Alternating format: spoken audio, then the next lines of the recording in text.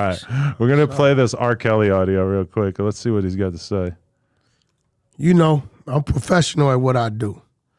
This is part one of five parts. The other four parts, I'm gonna put it up on the 100 YouTube channel. Uh huh. Um, but this one right here is uh, this real in depth shit, bro. He's coming back. He's trying to get his appeal going. And you're and you're supporting him. Oh, here we go. There we go. Yeah, I'm listening, bro. If this disciplinary hearing officer hadn't illegally accessed all of my Is, records, is it loud enough? I don't know where it's playing from. scanned them to illegally scanned them to her own personal Gmail account, Okay. then illegally gave them to Tasha K. Yeah, crank that up. Then those records, those communications between me and my other girlfriend would have never reached my girlfriend's ear or eyes for her to get pissed off enough to come to my visit the last time and curse me out, telling me she heard all of the phone calls and saw all of the emails, even phone calls between me and my attorney. She told me, and she Wait, wouldn't how have the fuck? Wait, wait. The bitch got the. Rec- I ain't gonna call it bitch. But the lady, the officer got the, the lady got the recordings. Nigga, your Man, phone my, recording my, my too? girlfriend came to my my visit, the last visit, Yeah. okay, in 2019, and cursed me out, saying she heard me talking to my other girlfriend. Okay. So what I'm trying to Heard me- understand is, She heard me talking to my lawyer, saying I'm not leaving my other girlfriend for her.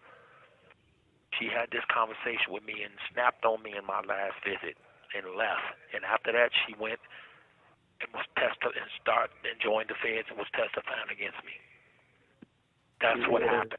And I didn't know I didn't know how she knew those things. Everything she said I said was true, but I didn't know how the hell did she know until three weeks before my verdict, which was in 2021, in the middle of trial. And then I that's started hearing about coercion, bro. That's that. Hey, that's co- that's coercion all day. So his attorney came in to visit him and they got into some kind of argument and so she goes into his jail email and takes all of his emails and then what presents them to the prosecution? No. The his fucking ex-girlfriend right. No, the prison guard, prison guard the prison guard who worked in the prison, went into R. Kelly's emails 153 times and sent those emails to her personal email. Then went home and sent the emails to Tasha K. mm. The prosecution gets a hold of him and approaches R. Kelly's girlfriend, right the one that's visiting with him and standing with him, right? uh-huh And shows him all the emails of him emailing his other girlfriend. Mm, and that's how they turned her on him She then turned on R. Kelly and became a witness for the prosecution. mm. And she represented 95% of the case. why did they go to tasha k with this kind of information I don't know, but let's continue Okay. on. Well, that's what I'm trying to tell you. So, you know, if the law hadn't broke the law, because I didn't find out about it till three weeks before the trial, The law the had broke the law. then The law could have. The law. The law could have. Could have worked in your favor. Exactly. So, you know, So how important was her testimony? she was 95% of my case, bro. I told you that. Oh damn. She was the main witness, the star witness. And per my lawyers, she was the main witness in my case. Now I know it's a lot of people out there that don't want to hear this, don't want to, you know, you know, don't don't may not like R. Kelly or want to listen to my music or may uh, believe anything they hear about me or whatever. Don't But listen to that, bro. but Don't no, listen but to that. listen, listen. But at the end of the day, my constitutional rights are supposed to look just like everybody else's Everybody constitutional else. rights. My due process is supposed to look like everybody else's due Everybody process. else there due should not process. there should not be a celebrity version of the Constitution. No, you're right about that. The law is not some remix they can just remix to their agenda, bro. the remix to Fit their ignition agenda.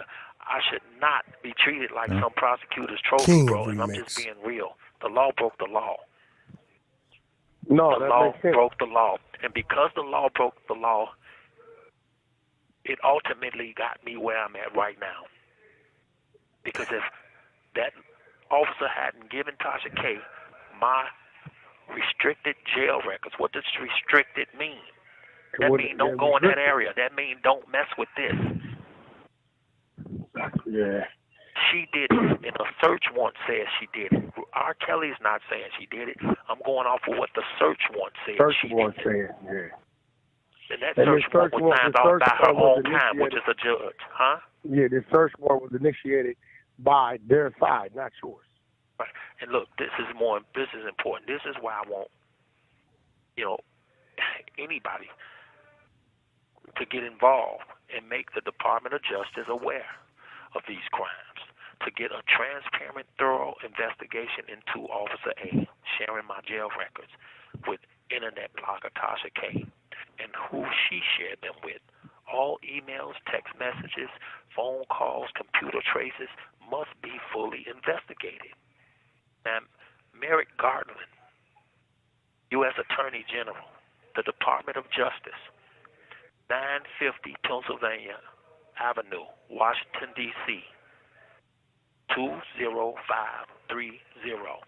Now, here's the case number for the for the search warrant. The case number so people can see it for themselves. And if you don't believe me, you can look at, at it yourself. The case number is Give it to them, Mark. Give it to them. two zero M one four eight. That's the case number. Search warrant. It's unsealed in the Northern District of Illinois, Eastern Division. Look, the Chicago Tribune and the Chicago Sun Times put the article out about my jail records being stolen by Officer A on 9 7 21. There was This call is from a federal prison. there was two newspapers that put the article out. I'm, I'm not, you know. Listen, if you know, people may say, well, he had his ch- his chance in court. He had a, a jury of his peers. First of all, I don't know about jury of my peers. I just know this: if the if the jury had known this, if they had known this, because it had happened before they even picked the jury, and if that jury had known this, this would have went another way but I feel like I shouldn't even went to trial because it happened in 2019 while I was in Chicago. Now, since this DOP officer has done this, she just retired. She was never charged. They only call her Officer A. They don't reveal her name or nothing. Got you. Well, we able to go pull it, dig into it, see what's there. But nevertheless, it's obviously a case of coercion them to sway a witness that was standing on your side to stand on the prosecution side, Yeah, which because my- represented my girl was 95% supporting me. She was supporting me 100% until she saw some damn emails, six months worth of lovey-dovey emails. I'm gonna keep it real. She saw six months of worth of lovey-dovey emails between me and my other girlfriend. Or, got- or you know what the people gonna say, or, or you know what the people gonna say. All not learn this goddamn lesson just to be a one woman man. Goddamn, he couldn't do it on the street. Can't do But it right but- behind the walls. You know what right, the but people you know, but but but at the same time, bro, when they say that, that's fine, that's okay. But at the end of the day, you don't go to jail for being a player, and you definitely don't do no 30 years. You got that right. Okay, so let's cut the right. bull crap, bro. Okay. You got that right. Yeah, I can learn my lesson, and I have learned my lesson. Believe me. But you don't learn a lesson for 30 years. No, you because got that the right. girlfriend is mad because of another girl, so she'll get up on the stand and say anything. It's called woman scorn, bro. This ain't the first. Robert Kelly is not the first one to have emails and phone calls and text messages to another woman. There's no law against that either. my point. But there is a law against stealing information, so I want people to focus more on the law breaking the law. You don't break the law. You can't break the law to enforce the law. Thank you. Right about that. I'm gl- thank That's you because you, you you can't do that, and that's what's been done. The search I want- warrant says it, not Robert Kelly. The search warrant said it, and I just gave the search warrant, you know, number, but that's Yeah. it says. And all I'm trying to do is get the investigation. They won't. They Listen. haven't shared the investigation. Listen, I'm here to be a voice for you. So some of this I want to take. I got a platform. I don't know if you're familiar with No Jumper. Familiar with, with No Jumpers? Oh man, I'm behind these walls, man. I ain't seen. Uh, well, I don't know. Yeah, okay. Well, it's a large platform. It's We got 40 by Adam seconds. It's ran by Adam 22, so I'm letting you know that I'm gonna take um, this last conversation we had right here, I'm gonna present it today on No Jumper, so people can hear that case number and we can get it going. And uh, you got my word that I'm gonna be your voice and call me back as many times as you want to. Whatever you need, you need, and definitely get me with those attorneys so we can get that Birdman business going. as soon as they come see me, I am. But I'll be calling right, you yeah, every give me to or. Just- not, nevertheless, you. get them my number. I'll call you every other day just to chop it up. All right. All right. Whatever you want to call me, hit me, bro. Don't matter if it's every day, ten times a day. I'm open. All right, Wack. One. All right, love. Every day, 10 times a day. That's your, your best friend now. I got to do my own research His into business. what he's talking about in terms of how big a role those leaked documents played in his case. But it's very, very interesting. Bro, let me explain something. I love to that you. you're still hitting the grimace shake. Let me hit you. Let me explain something to you. All that came out before a jury was picked. Hmm. Jury was tainted. They shouldn't have never allowed that witness to be included in that trial.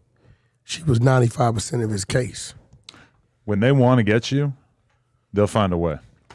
Sometimes they get you, but can't hold you. Hmm. It's a lot of cases that people come home on not because they did or didn't do it, because of technicalities. Right. But they weren't going to let that happen with him. Not after all these years. Not at that time. No. They fucked up. The other recordings I got, you'll learn who actually initiated the search warrant on the prison guard's home. Okay. That's when it gets interesting. Really? That is interesting. You want to know something funny? Is that Vlad, maybe a month ago, did an interview with R. Kelly and then chose to not release it because, in his words, he was just doing a lot of talking about, like, you know, basically a conspiracy theory against him and stuff, which is what I'm guessing he was referring to is this. That's not a conspiracy theory. right. That's a real case number. But basically, he wasn't happy with the direction that the interview went because he was throwing all these other people's names in and accusing them of yada yada. I, I I'd have to do a lot more digging Well, into. well, um, there's no name thrown in there but Officer A, which if you look at the paperwork, that's how they identify the individual that went in and took the emails and and did what they did. if no jumper frees R. Kelly, I feel like the media is probably going to be extra out to get us. No, it's But whack. that's okay. Wack 100. Well, That's a- I'm part of it. listen, I'm pretty hyped that, R. Kelly didn't that- know what no jumper that was. He's like, I'm behind these walls. I just wanted him to know he knows what I'm doing with that clip. The other clips, he knows is going up on my platform, my other platform. Right. Um, Clubhouse heard one of them. You know, I got to look out for Clubhouse. Mm. You know what I'm saying? Got to look out for Clubhouse. No, yeah, I'm interested to hear the rest of it too, for sure. That was interesting. Wow, man, you really tapped in with R. Kelly. That's crazy. Yeah, it's, you know, some other business going on too. Oh yeah, what are you gonna do? You gonna put out his next album? You got some unreleased stuff? Uh, like 32 songs.